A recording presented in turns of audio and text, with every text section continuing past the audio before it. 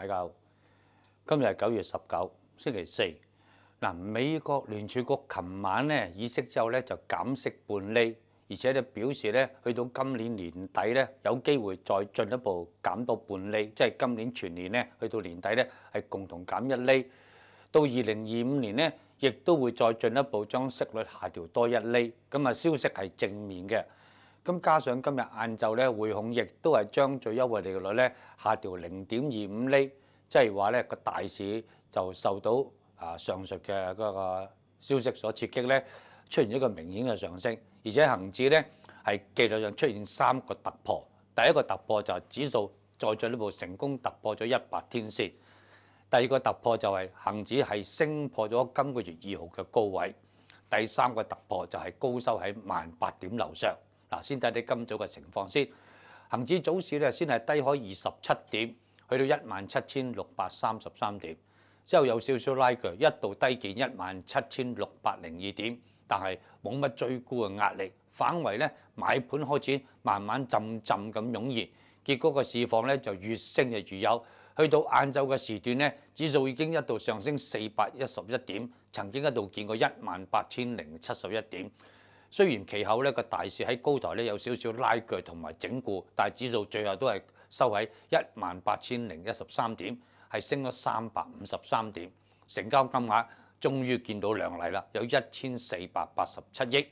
升市成交金額量麗係顯示得到動力係配合個升勢咧，應該仲可以持續嘅。咁啊，睇睇今個月啦，經過今日嘅上升，由於指數已經係升破咗今個月二號嘅高位一萬七千八百六十二，即係話九月份嘅股市咧，暫時嚟講已經扭轉成為先低後高啦。指數係由十一號嘅低位一萬六千九百六十四升到去今日暫時嘅高位一萬八千零七十一，即係話喺六個交易天之內咧，指數係升咗一千一百零七點。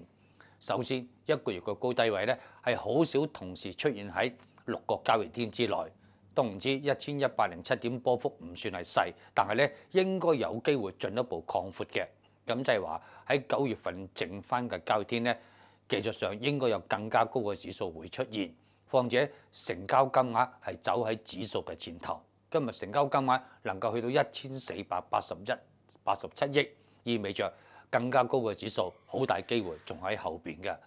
移動線嗰方面已經係完全收復晒啦，因為指數唔理你日中嘅高位或者收市嚟計咧，都係走喺所有平均移動線之上，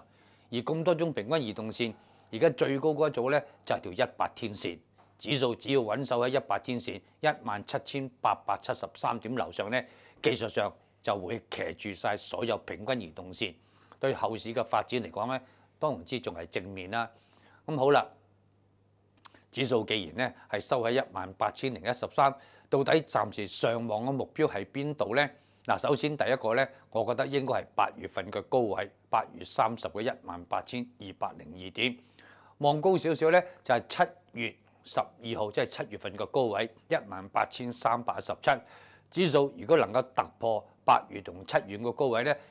將會扭轉一頂低於一頂嘅形態。喺嗰刻都唔知係有利於進一步向上挑戰六月份，即係六月五號嘅高位一萬八千七百二十四啦。但係喺今個月底之前有冇咁亮麗嘅升勢咧？唔敢作一個預測，因為最緊要就成交金額。如果成交金額喺未來嘅交易日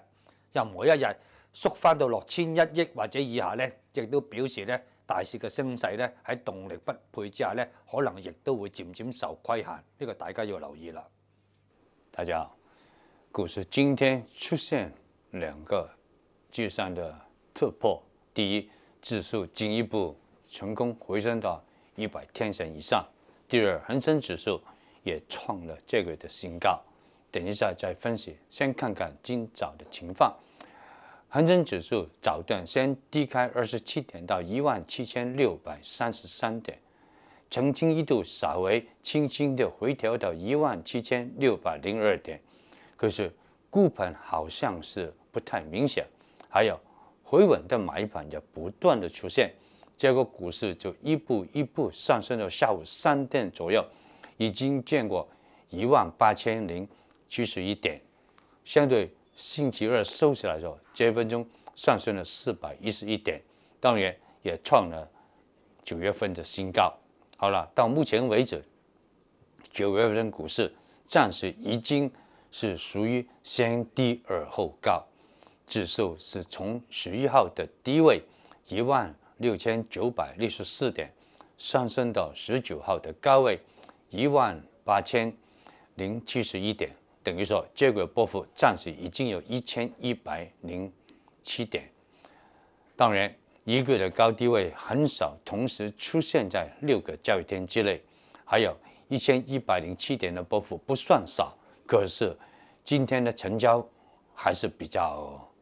啊足够的，所以更高指数可能还是会在后面。等于说，九月份。有机会再进一步往上寻找更高的指数。从技术上来看，现在往上看，第一个目标应该是八月份的高位，是八月三十号的一万八千两百零二点。再看高一点点，就是七月份的高位，是七月十二号的一万八千三百一十七点。指数只要能够回升到八月跟七月份的高位以上。就可以打破一顶低于一顶的走势，这个很重要的。再看看移动线，现在指数在一万八千点左右水平进行一个高台的整固，而移动线方面最高的就是一百天线，大概在一万七千八百七十三点，等于说现在恒生指数已经成功回升到所有平均移动线之上。从技术来看。有利后一个阶段股市的发展，当然最重要还是成交，股市有足够的动力，整个股市还是会进一步往上推的。外围方面，美国昨天晚上宣布把利息下调半厘，到今年底还会进一步下调半厘，到明年全年将会有机会再下调一厘。那等于说，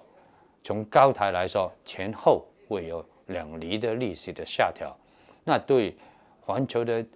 啊金融市场来说是会有正面的效应。那最低限度